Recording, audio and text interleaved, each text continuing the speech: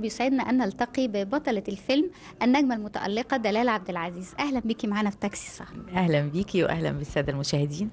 آه، إحنا في البداية بنقول إنه الفنانة دلال عبد العزيز قدمت لنا العديد والعديد من الأدوار الجميلة والمتميزة والمتنوعة. وبالتأكيد دورك في مبروك وبلبل مختلف عن كل الأدوار اللي قدمتيها. عايزة أعرف آه، إيه لما قريتي السيناريو إيه اللي حسيتيه؟ اولا أنا سعيدة جدا بفيلم مبروك وبلبل لأنه في ثلاث عناصر أنا كسبتهم في الفيلم ده. آه، الدكتوره لميس جابر لأول مرة بتعمل فيلم سيناريو فيلم قدمته. و- هي زوجة طبعا الفنان يحيى الفخراني. آه، مرات يحيى الفخراني. وبعدين العمل مع يحيى الفخراني أنا بتفائل بالعمل معاه. وبعدين ساندرا نشأت لأول مرة إخراجها. الفيلم. فالدكتورة لميس أول ما كلمتني هي و... ويحيى الفخراني آه، رحت عندهم البيت وهي اللي قعدت قريت لي السيناريو أنا وساندرا ويحيى.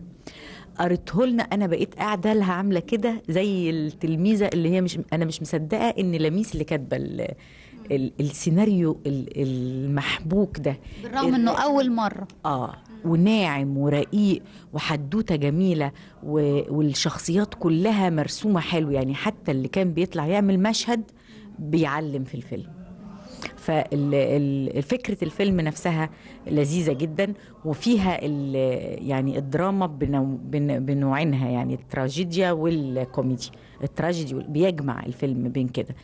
فده الجميل فيه. طبعا يحيى الفخراني قام بدوره هو ممثل جميل وعظيم يعني.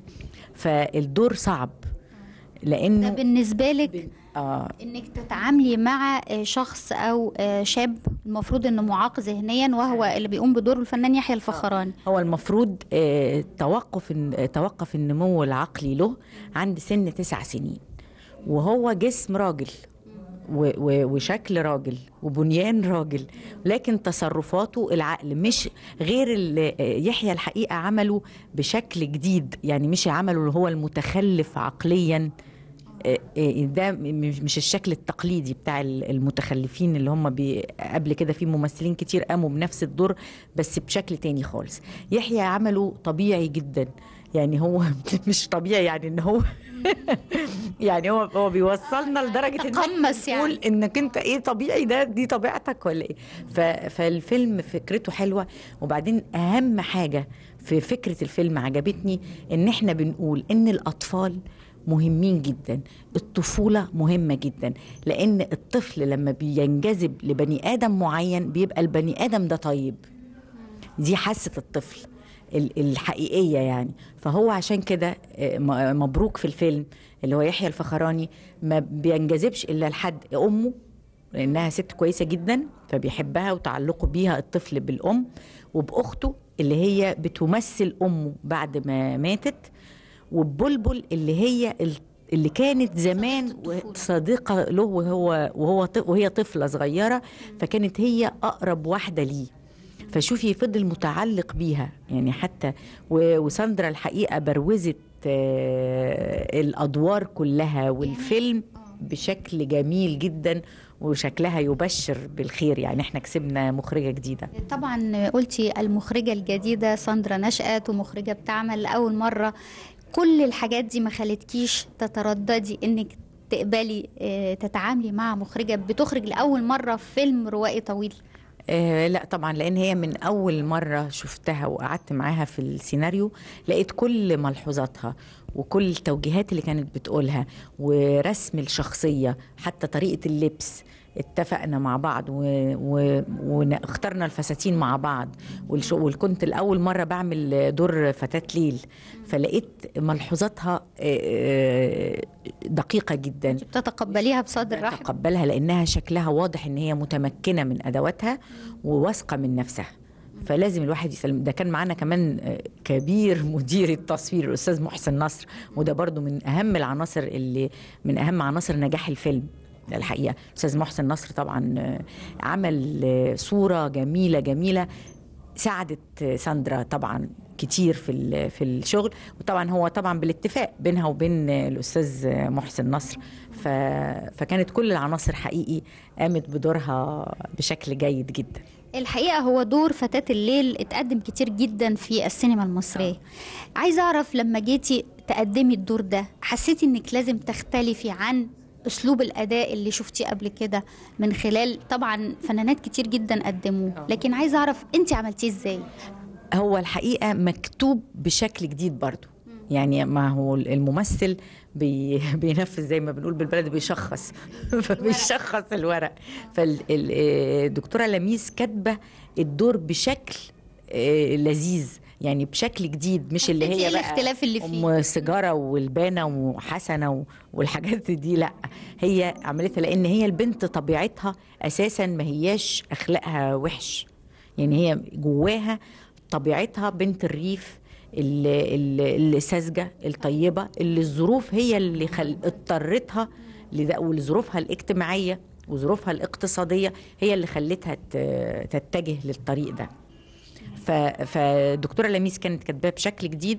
وساندرا حبت تقدمه برضو بشكل جديد وفي نفس الوقت أنا ما أقدرش أعيد آه، صورة مكررة أبقى صورة مكررة, من آه، فنانات كبار طبعا قدموه بشكل جميل يعني في كتير ممثلات كتير طبعا قدموه أساتذة فيه يعني إنما حبيت أنا على قد ما أقدر يعني إن أنا أقدم الدور بشكل جديد خالص. هو برضو آه، التعامل مع المفروض إنه طفل بس في شكل رجل طفل معاق ذهنيا أو رجل معاق ذهنيا.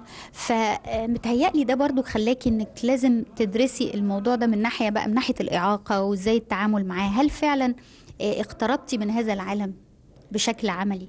آه أنا عملت آه، برضو دور قبل كده في مع الصم والبكم كنت عاملة خرصه فكانت فيها نفس السكة بس دي عملتها بعد مبروك وبلبل. إنما بالنسبة لمبروك وبلبل الحقيقة كانت آه، الدكتورة لميس مستوفية وهي عشان طبيبة برضو.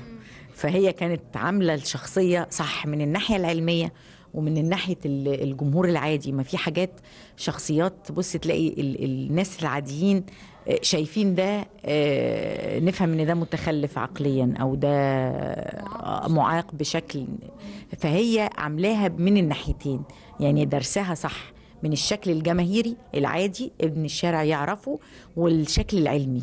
موضوع الفيلم عن آه، البعض اللي هم ممكن يكون لهم احتياجات خاصة وممكن المجتمع بيتعامل معاهم بشكل سلبي.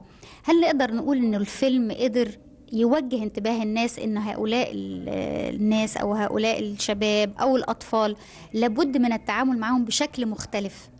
آه بدليل إن بلبل لما عملته بصدق وبحب آه، اديته حاجات كتير وهو حس بنفسه وعلمته إن البني آدم لازم هو اللي يشتغل ويعمل شيء يبقى له قيمة. رغم إنه تخلفه العقلي ورغم آه، قلة النمو العقلي عنده إنما هو تجاوب. فده دليل على إن البني آدم النظيف ما بيتحط في أي ظروف بيفضل آه، آه، نظيف أو بيظهر أحسن ما فيه. أيوه.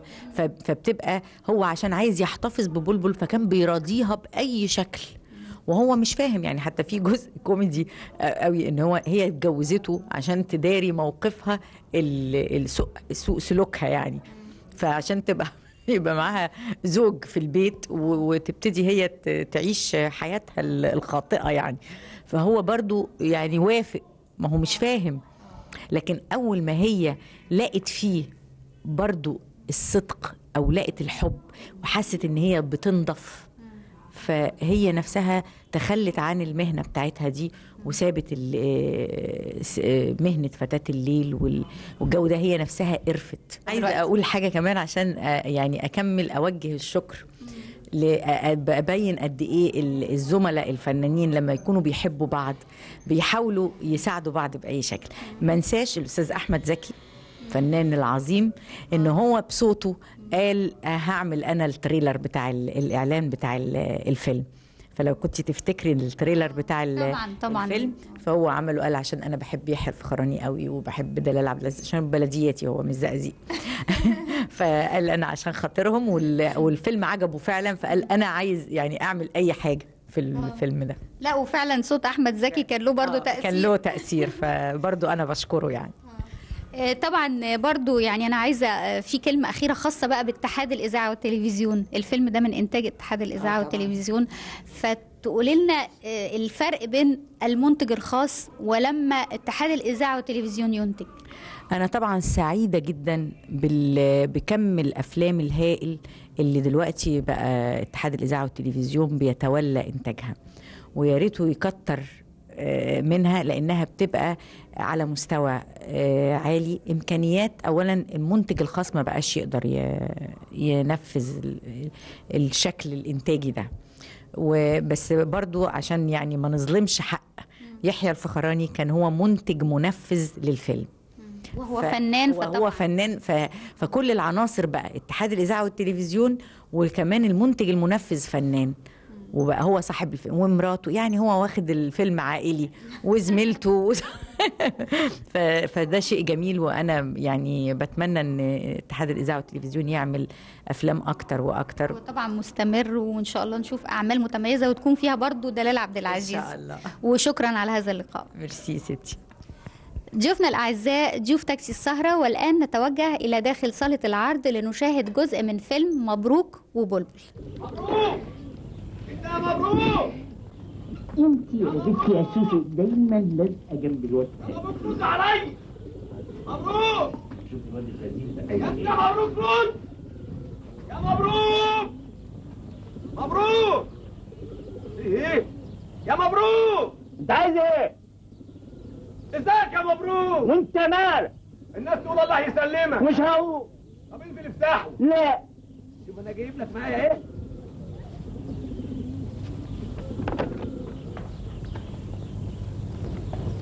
بقاني اطفح الدم في الأرض عشر سنين ويجي في الآخر الأهبل ده. ياخدها. استنى بس يا حبيبي استنى. هي روحية راحت الشغل. أيوه. طب لو عوزت أي حاجة أنا رايح مشوار ماشي.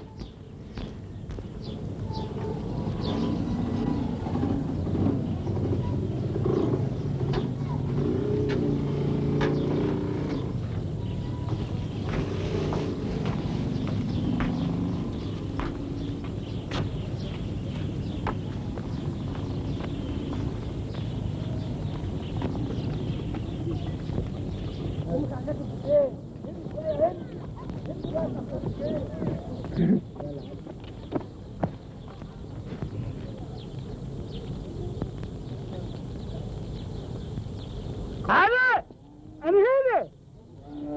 تعالى كل هنا.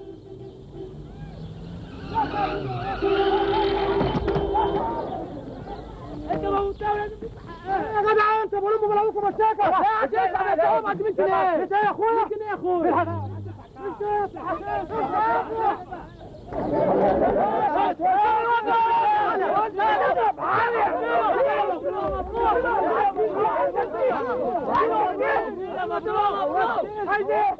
هسيبك الا لما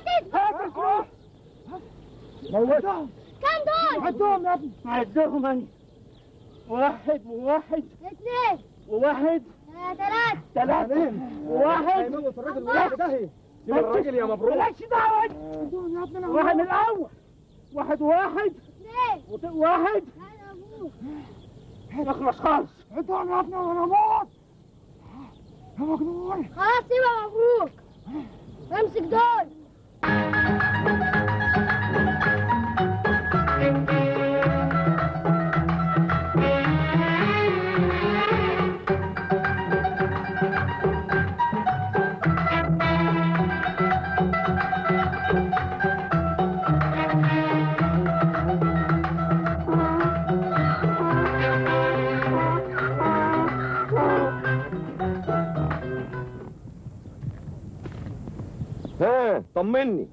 الراجل اتنازل ليه؟ مفيش أدلة تعدي هو لازم حكاية المحاضر دي يا سي المرسي ما هو باينه النهبل وده عايزه مفهومية. لازم ثلاث محاضر تعدي ورا بعض. وحد من اهله يقول إنه مجنون ومحنة يبلغ المستشفى. يجي ياخدوه من المركز على السرايا الصف. طب وأنا أعمل إيه؟ إذا كان بيبرك على الجدع من دول وقبل روحه ما تطلع بدقيقه يسيبه ولا يعوروش. مشي حالك مع نفرين جدعان.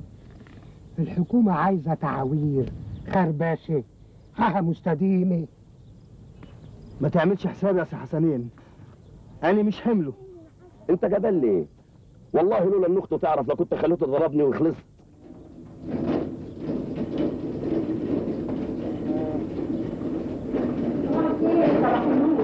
عيان لا بس ما عرفتش اسيبه في البيت لوحده بعد اللي حصل طب سيبيه مع فتحيه لما نخلص مرور نرجع له تاني طيب تعالى يا مبروك تعال. اقعد هنا في الاوضه دي اقعد ما تتحركش وأنا هفضل راحة جاية عليك. آكل من دي يا رحيم كل كل اللي انت عاوزه. صباح الخير. صباح الخير يا فتحي. صباح النور يا روحي. خلي بالك من مبروك ولو عايز حاجة اديها لك. من عينيا الاثنين تسلم عينك. الله شد حلو اشرب. اشرب يا حبيبي. ما تتحركش. ازيك يا مبروك يا رحيم رايحه فين؟ روحي اخد مره مع الدكتور وجاي على طول. هنروح عليه أنا فين تعال. تعال اخد على ما تشرب الشاي ده هتكون جت على طول. فتحية يا دكتور خد عندك بسرعة. حاضر حاضر. اوعى تخرج يا مبروك اوعى تخرج.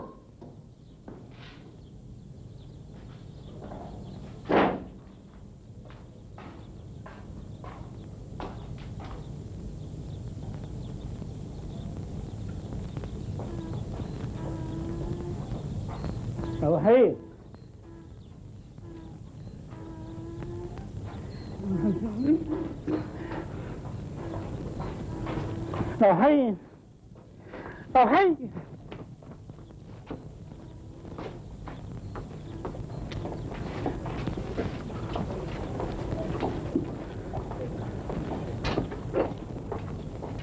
يا ساعدك وفي إيه؟ شدوا شدوا يا أخويا وخلصني هو إيه اللي شد؟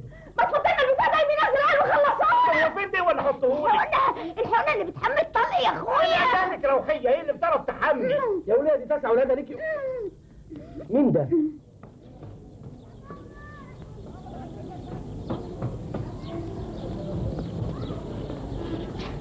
روحية والنبي يا أخويا طمني.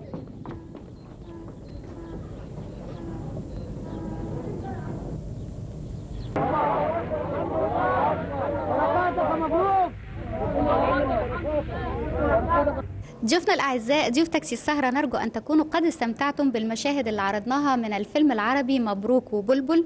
وفي نهاية الأحداث بنشوف أنه مبروك وبلبل استطاعوا أن هم يتغلبوا على كل المشاكل والصعوبات اللي واجهتهم سواء من الأهل والأقارب أو من المجتمع لأنه زي ما بيقولوا دائما أن الحب يصنع المستحيل.